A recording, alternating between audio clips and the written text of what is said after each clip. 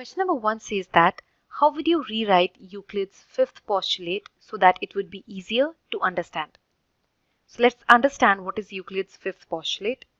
It says for every line L and for every point P not lying on L, there exists a unique line M passing through point P and parallel to L.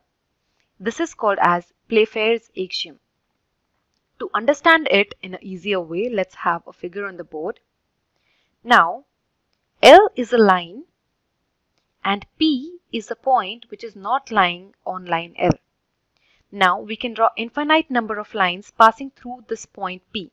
We have already drawn two as you can see the two dotted lines. But there will be only one line which is unique which is parallel to L and passes through P which is the line M in this figure. By parallel we mean that the distance between these two lines remains same always. It remains constant. So the distance is same everywhere. That means line L and line M do not meet anywhere or we can see that that these two lines never intersect with each other. Now this result can be put across in another way by saying that two intersecting lines cannot be parallel to the same line. And this is a better way of understanding Euclid's fifth postulate.